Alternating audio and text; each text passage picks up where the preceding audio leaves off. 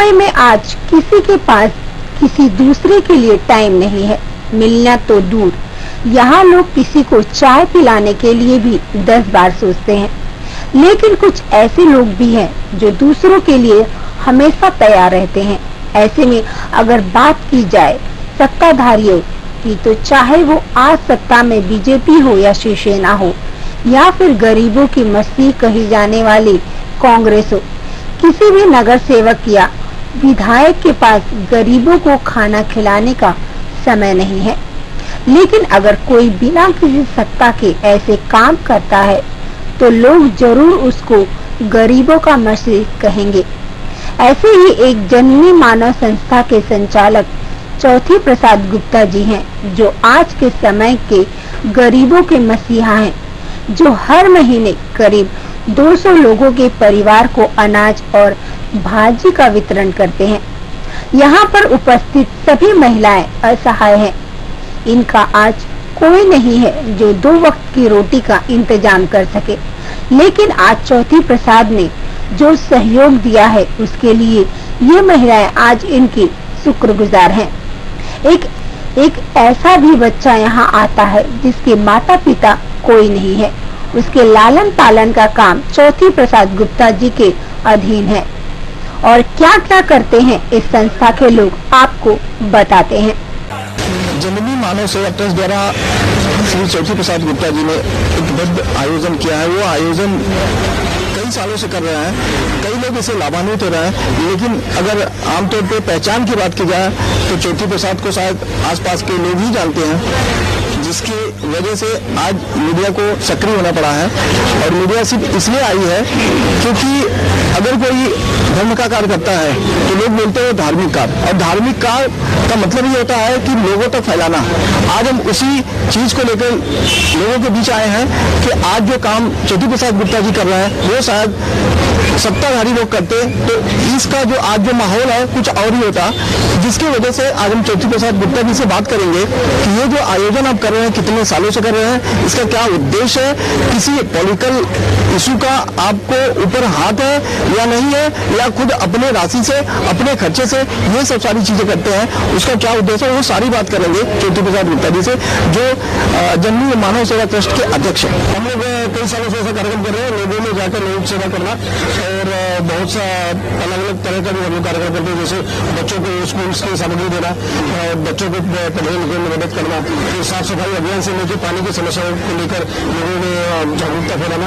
इसके अलावा हम लोग हमारे बहुत से कार्यक्रम है, जैसे यहाँ पे गिफ्ट बड़ा हमारा खुद का सेंटर है, जहाँ पे आधार कार्ड और पैन कार्ड का हम लोग चौबीस घंटा लोगों के लिए, बारह घंटा ऑफ़िस खुला होता है तो लोगों को सेवा देते हैं। तो एक कार्यक्रम जो है अनाज बांटने का, ये जो अनाज वितरण का कार्यक्रम है। तो हम लोग किसी गरीब बच्चों को देख एक बच्चा हमारे ऑफ़िस में आता था, जो बच्चा सामने है। तो बच्चों को देख के हम लोगों ने इस कार्यक्रम को प्लान किया था हमारे सभी कार्यकर्ता ये बच्चा जो हमारे ऑफ़िस में आधार कार्ड बनाने तो हम लोग बोले कि भाई इसका पेरेंट्स कोई नहीं तो हमारे किसी ने साथियों ने बताया कि इसका कोई पेरेंट्स नहीं बेचारा अकेला रहता है। तो उसके लिए हमने बोला कोई योजना बनाते इस तरह के जो तकलीफ़ वाले बच्चे हैं, जिनको हम मदद कर सकते अब एक तो छोटा है, कहीं काम धंधा नहीं कर सकता। तो इस हिसाब से हम लोगों ने उसके लिए योजना बनाई थी। लेकिन फिर हमारी योजना बढ़ते बढ़ते हम लोग ने दिमाग में लाया कि हमारे यहाँ पे यहाँ के कई विधवाएँ हैं, जिनको हम मदद करना चाहिए। तो हमने कंडीशन रखा है, विधवा जो महिलाएँ जिनके बच्चे छोटे हैं साल के अंदर।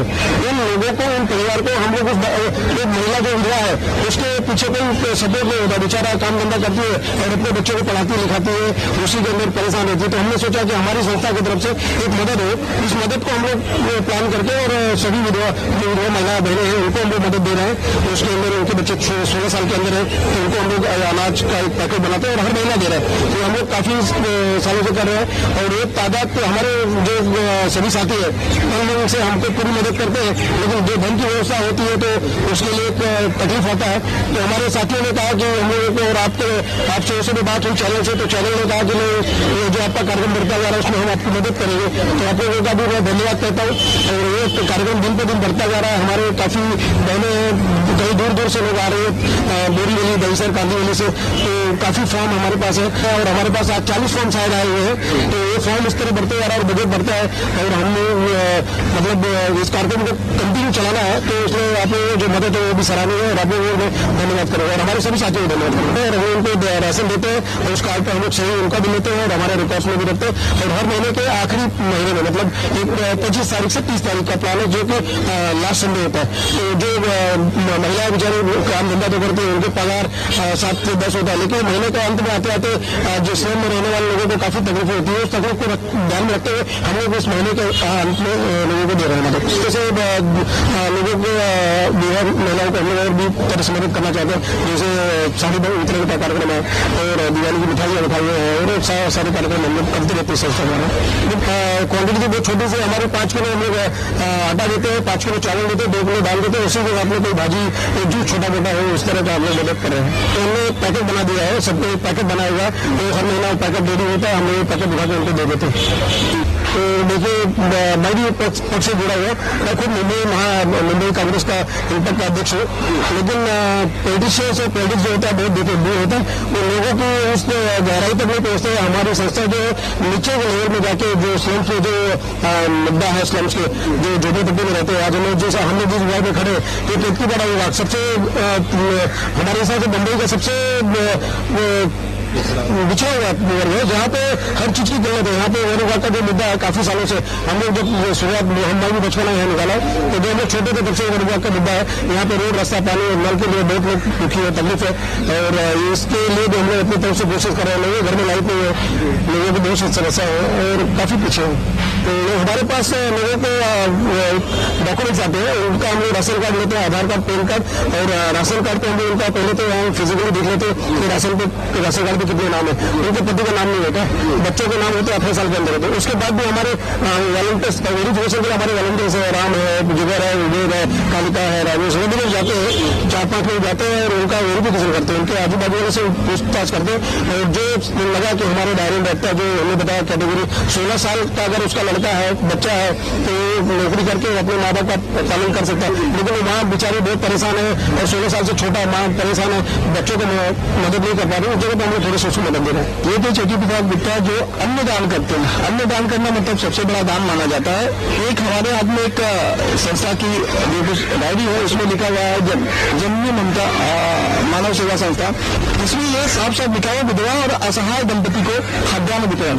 हम आपको बताएँगे कि अंदर लिखा हुआ है, उनका नाम है, पता है, मोबाइल नंबर दिया गया है, उनकी जन्म तारीख भी दी गई है, आधार कार्ड नंबर दिया गया है, वोटिंग कार्ड नंबर दिया गया है, PAN card number, ration card number, वार्षिक आमदनी कितनी है, परिवार में कौन लोग हैं जो कमा के दे सकते हैं, जो परिवार का भरण पोषण कर सकते हैं, उनकी पूरी जानकारी लिखी हुई है, और पीछे के पेज में महीना लिखा हुआ जनवरी से दिसंबर तक लिखा हुआ जिसमें वितरण की तारीख भी दी गई है, और किस तरह ये पूरा काम जो है, बिल्कुल सफ़ाई से किया जा रहा है कि लाभ लेने वाला सच में जरूरतमंद होना चाहिए, ये गुप्ता जी की पॉलिसी है।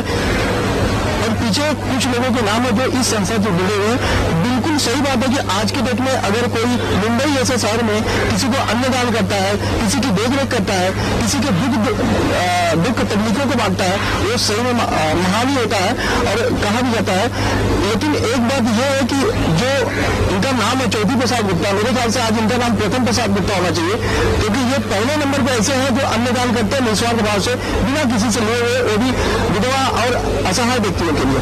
हमारे साथ एक बच्चा भी है जो पिछले कई सालों से अनाज ले रहा है। उससे बात करेंगे क्या मेरा बच्चा आता है तुषार जगन्नाथ गौर आ रहते हैं और तृप्ति बड़ा। कितने समय से अनाज लेके जा रहे हैं? और चार पाँच महीने मामा है, मामी आजी आजोबा नहीं है नहीं है। आपको कैसा लगा, ये जो सहायता आपको मिलती है, आपको कितना अच्छा लगता है? बहुत अच्छा सवाल करते हैं? हाँ करते हैं सकते हैं गुप्ता जी की तरफ़ से आपको कुछ कहना है? कैसे गुप्ता जी। अच्छे तो ये था एक छोटा सा बच्चा जो पिछले कई महीनों से अनाज लेके जा रहा है, न उसकी माता है, न पिता है। बिल्कुल ज़ाहिर सी बात ऐसे है साफ़ ज़ाहिर देता है कि जो अन्न वितरण का कार्यक्रम किया जा रहा है, बिल्कुल सही दिशा में किया जा रहा है। कुछ और माताएँ भी हमारे साथ है, उनसे भी जानने की कोशिश करेंगे कि ये अन्न जो आप ले रहे हैं कोई आश्रम में, बच्चे में, कमज़ोर में आपको मदद मदद कर रहा है। अपना मदद होगा। हाँ अपना थोड़े सकून कोई तरह है अपना पीछे, अपना देखने वाला।